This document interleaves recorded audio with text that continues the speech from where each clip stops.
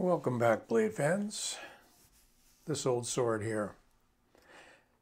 Bringing you yet another new knife. This one hit yesterday, and you might recall this looks familiar, that I did a similar review. This is the Hogue K320. It is uh, a companion in a sense, to another Hogue. These are Hogue SIGs, by the way, made by Hogue with the SIG name on them. Helps to take the safety off. So you see the top one is the K320A, the automatic version, with the drop point. And the bottom is the K320 with a Tanto point. Same exact handle, same almost blade configuration, except we have a chisel ground Tanto on this manual AbleLock version. So this is the Hogue's version of Benchmade's famed Axis lock, which had gone off of copyright not too long ago, and other companies are able to make similar locking mechanisms. Let me give you a few specs on this particular one from Blade HQ, and I have verified that these are accurate. If you find any discrepancies, let me know. The blade length is three and a half inches. Cutting edge, 3.125 inches due to that pronounced choil that we'll look at in a minute. The blade is CPM S30V. The blade style is Tanto. It's hollow ground. Finishes a black Cerakote, which um, they have their own name for. See if I can find that in a little bit. The handle length is four and three quarter inches. Handle width 1.25 inches. That's not thickness. Handle thickness is 0.57. Material in the handle is a polymer, and it's a very special polymer. I wouldn't call it FRN by any stretch of the imagination. It's much harder. I have it on several Hogue knives, and it's uh, they even have videos with uh, trucks running over these knives and the mechanism still holding up. It's a very, very tough plastic, if you will. Model, model number on this one is 36360. It's made in the USA and it's considered to be tactical use knife. And I think we missed the weight. Let me see if I can get you the weight. 4.18 ounces. 4.18. Okay, so what we have is a very comfortable, usable EDC. We have lots of jimping here built into the frame of the uh, knife, wrapped in the uh, polymer handles. We got a little bit of jimping up here on the blade, which has a pretty good amount of grip as well have a really nice usable choil. Got a little bump there. Some people aren't going to like it aesthetically, but usefully, you're not going to run your finger onto the edge. And no, it doesn't give you a really neat um, termination of the edge for sharpening. But, you know, you got to give up some things to get other things in some cases, right? Really nice even black coat. There is your, back out just a little bit. I have trouble when I zoom in too far as far as pulling focus on this uh, particular camera. I'm not using a cell phone. Um, I'm a photographer by trade in the distant past, and um, most of my stuff is cameras. I don't use my phones for things other than what phones are used for. Sig Sauer um, K320. And this is supposed to be a tactical military type uh, counterpart to, I believe, the Model 17 U.S. Army pistol. I don't know the exact designation of that off the top of my head, but the uh, civilian version is called the P320. So this is the K320. P for pistol, K for knife. You guessed it. Have a seam down the back where the two halves join together. Oh yes, and as with the auto version, a very interesting deep carry clip with these raised scallops on it that give you very good purchase and the ability to pull it out of the pocket.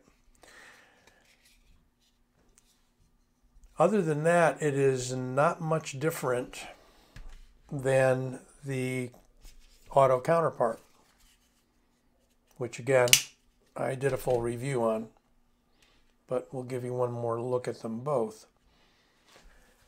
Both three and a half inch blades. Interestingly enough, they kept the cutout for the flipper, not flipper, but the opening assist. Flick it open very nicely using um, both a thumb flick and a spidey flick. You can get it back in like that. You got to pull back. One thing I noticed the Able lock, as Hogue calls it, has a little more spring tension than most of the Benchmades that I have and have used. Could be that it's new, I'm not sure, but just a, I got to use both fingers to pull back. If I use just a thumb, I can get it back, but not all that well. So I use I pinch it back with both fingers, and you can get it back in that way. You can uh, use your other hand if you wish, or the side of your leg. It's a very handy lock. Comes out smoothly. I believe, let's see what the stats say. Believe it's running on washers and not bearings. And I'm going to stick with that. I can't find anything to the contrary.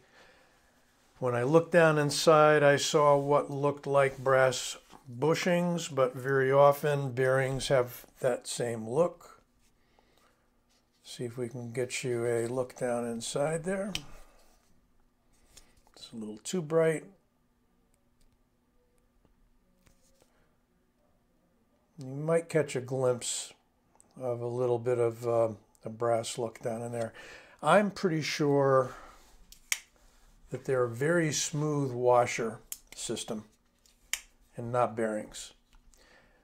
Uh, it's not too often you see bearings on the Axis type lock.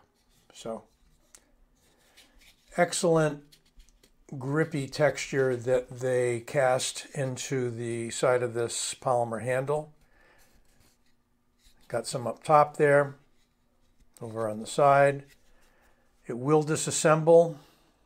You have what appears to be T8 Torx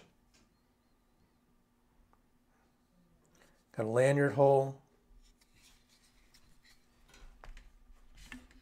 And let's quickly look at it. Next to the Benchmade, Benchmade, Ontario Rat 1. And the Benchmade Griptilian. Pretty much the same size as a Griptilian if you know that knife both in blade and handle. I feel it's a great EDC knife. Um, I've got a number of autos. They're not really something I carry that often, although I may carry an auto around the house. But here's the manual version. So you can get this in either a Tanto or the drop point should be legal in your area. Three and a half inches is pretty modest, not uh, certainly not over four.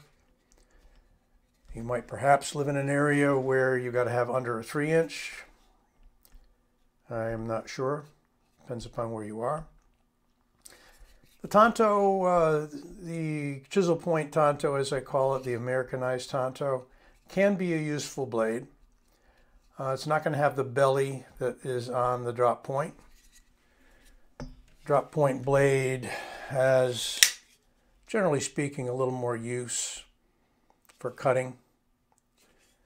And the Tanto probably is perceived to have a little more use as EDC and tactical. Maybe a little more pronounced point. And you have that secondary cutting point, which, you know, for scoring, cutting leather, paper, cardboard, actually comes in pretty handy. I like the size of it. I like the fact that you can easily choke up in that finger choil. It's a useful finger choil. It's not just a decoration. And it um, opens up smoothly. It closes smoothly. Really kind of a neat knife. Uh, lightweight, right about four ounces. So, you know, coming up on three and a half inch blade, four ounce knife, you're pretty close to that uh, ounce per inch so-called rule. But As I was saying, um, with the blade shape, uh, won't get too into it, but you know, the traditional Tanto is not this Tanto. The traditional Tanto, if you look at some of the creations of James Williams, you'll see more of that traditional um, gradually tapering point uh, of the uh, Japanese Tanto and its variants. Now, this is a variant that goes back to like the early 80s where Lynn Thompson decided to put uh, more or less a ninja style point onto a knife and call it a tanto. And as far as I know, he was the first or one of the first to do that. Uh, you see it more on some so-called ninja swords, um, supposed to be armor piercing, be a little tougher, but you know, that's all up for debate because the traditional Tanto is also a very good penetrator, especially with a more slender tip. As I said, check out some of uh, James Williams' knives, uh, some of the ones he made for cricket, and some of the ones he's now making under his own name, which are um, very, very nice. I hope to get one one of these days. So, hope you enjoyed that. This is the Hogue K320 Tanto with an Able lock, S30V blade, and a um, nice little EDC. I'm going to try EDCing it around the next few days, and I'll get back to you and let you know how it does. Hope you like this video and subscribe. Great being with you. Have a wonderful rest of your day.